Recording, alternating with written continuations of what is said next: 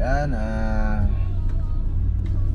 There we go mga kamaster, good morning So ngayon na papunta tayo ngayon ng ah, Malolos, Bulacan At papunta tayo sa ating ah, kaibigang engineer Na contractor ng ah, flood control project no? Shoutout sa iyo engineer, papunta na po si master no? na medyo maulan lang kanina so ito at ah, okay na medyo tumila na kung makikita nyo maliwalas. Maayos na po yung ating panahon ngayon. So papunta po tayo ng Malolos no? Alpha AJ Malolos positive na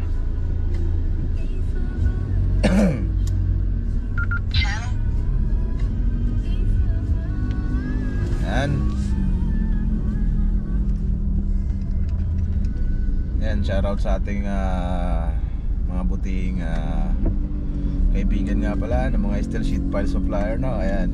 So, arangkada na naman si Master, no? Ah, tayo nga pala eh magsusupply sa kanila ng steel sheet pile materials, no? So, hindi ko nababanggitin yung pangalan mo, engineer, no? Ah, basta tayo, tayo lang nag-uusap, no?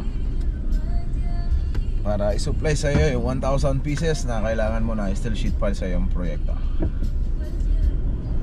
Yan, shoutout nga pala sa mga nakakilala po sa atin, no? At sa AMIS Construction Materials Trading, yan. ah, ito po ang inyong lingkod dahil Jeffrey L. Manggaling, no? Maraming salamat nga po pala sa pagtitiwala sa aming kumpanya. At ah, yun naman po ay amin namang uh, kumbaga man ay parang lugod at ah, malaking utang na loob sa inyo dahil ah, tuloy-tuloy po yung ah, pagtitiwala nyo sa amin. No? Maraming maraming salamat po. Sana po ah, tuloy-tuloy lang po tayo at ah, wish ko rin na yung inyo pong mga proyekto ay sana tuloy-tuloy at na lagi nasa maayos. At ah, yun nga po pala mga chief of staff natin ng ah, kanya-kanyang distrito. Yan, shoutout sa inyo mga bossing no. Ayan, nandito po yung inyong ah, ano, alaga at ah, anak-anakan ng market Ah, bilang ilang ah, isang ah, steel sheet pile supplier no. Ayan, ah, ginagampanan ko po yung mga turo nyo sa akin at mga utos nyo sa akin. At syempre, shoutout nga pala sa ating mga tatay-tatayan ah, na tinulungan tayo para marating natin yung ganito no. Yan, uh, shoutout kay Jun Shaton, yan, shoutout. At syempre sa tatay-tatay natin si Jun Uyong, yan, ng Duhama Traders. Yan, daddy, kumusta? Ito na yung ano, ito na yung, yung pananax. So, pag-alagala na lang. Ah, wala ibang ginawa, kundi mag-supply ng steel ah, sheet piles, no? At syempre nga pala sa mga engineer at uh, mga kaibigan natin, na mga nakakilala sa atin, no, mabuhay po kayo lahat, no. Tuloy-tuloy lang po tayo, no. Huwag po kayo magsasawa ah, na umorder ng ah, steel material sa amin, no. O kumbaga man sa mukha ko na lang po kayo magsawa. Ganito po talaga yan, puro bukbok.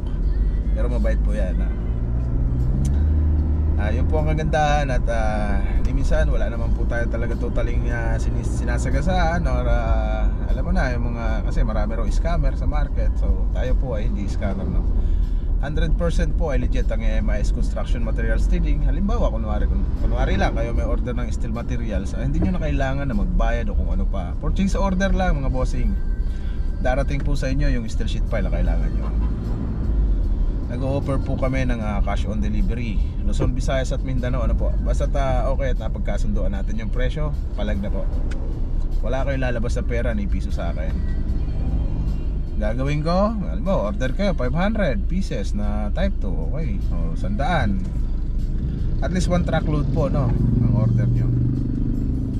Pag umorder kayo nyan Gawin ko Paload ko, galing ko sa inyo Okay na Pagdating sa project site nyo, syempre bago nyo ibaba, bayaran nyo muna ako.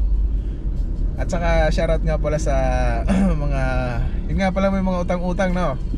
Kasi, tawag dito, dati malakas kami magpautang no. Eh, may mga utang dyan sa amin no? so hindi ko na kailangan banggitin yung inyong kumpanya.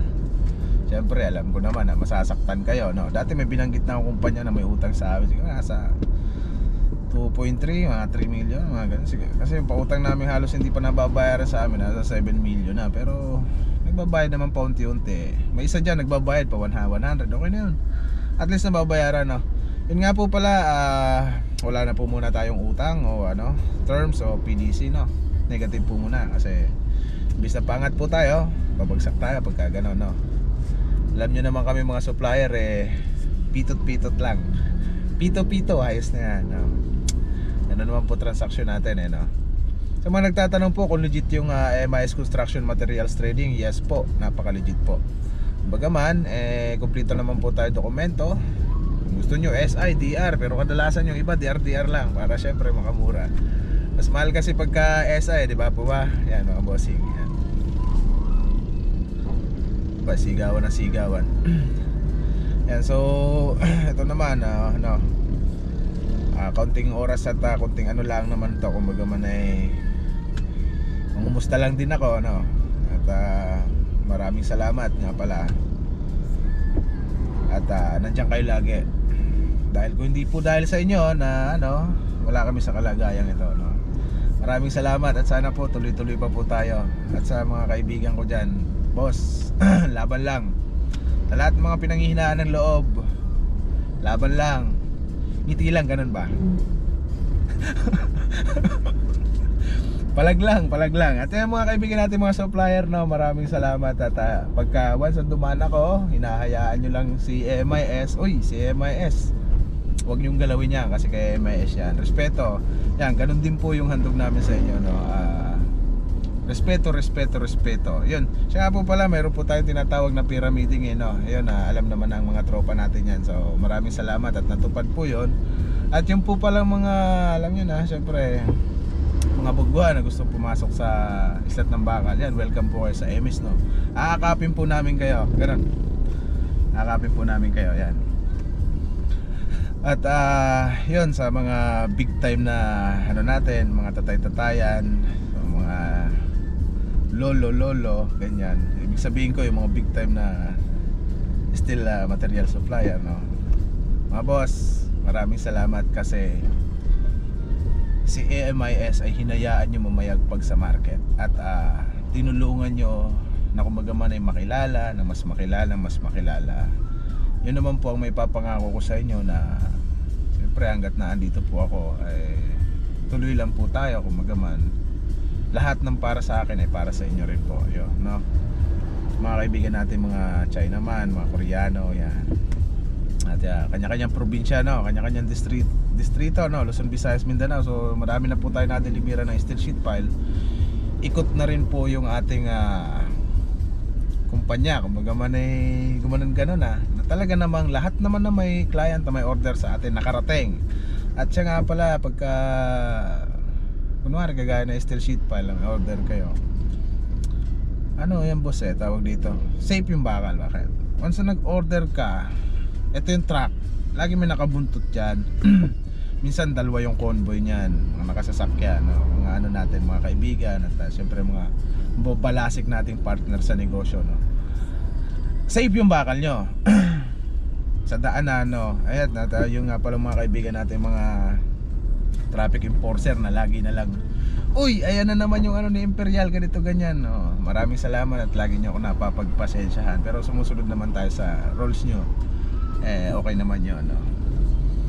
at ah, sa mga ano contractor ng DPWH sa government at private no maraming maraming salamat po dahil ah, yun nga yun pasensya na puro pasasalamat na lang masasabi ko kasi yun naman talaga dapat ang dapat kong gawin kumbaga man kayo ang dahilan kaya si MIS nakatayo ngayon So ito walang atrasan, palag-palag na. So yun, mga uh, bossing, mga kamaster. So hanggang dito na lang yung ating video at uh, maraming salamat sa konting pakikinig ng ating uh, parang sermon, talumpati, ano pa yan. Sige, yun na yun. Maraming salamat at uh, mabuhay po tayo lahat. Bye-bye.